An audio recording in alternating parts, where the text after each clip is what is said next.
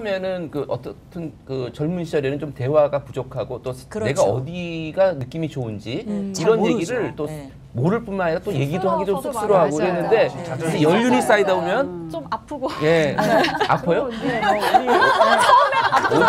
친구들이 아니 네, 남성분들이 준비 안 된 상태에서 그러니까 도전적으로 급하게. 가니까 네, 맞아요. 처음엔 아픕니다. 네, 맞아요. 그만큼 젊은 친구들이다 보니까 네. 준비가 안 돼. 마음의 준비와 어떤 몸의 준비가 함께 이루어져야 되는데 일단 몸에서 막 먼저 반응을 좀 하고 싶다고요. 급하니까. 남자들. 맞아요. 그러다 보니까 몸에서 먼저 반응을 하려고 하다 보니까 여성들이 어떤 섬세하게 여자들은 천천히 시간적인 여유와 전이와 그리고 몸에서 충분하게 그걸 느낄 만큼 그게 필요한데 일단 급하게 저돌적으로 막 강하게 해야지 좋은 건 줄 알고 그러니까 이제 아프다는 그러면은 표현을 썼던 게 바로 그런 부분이거든요. 지금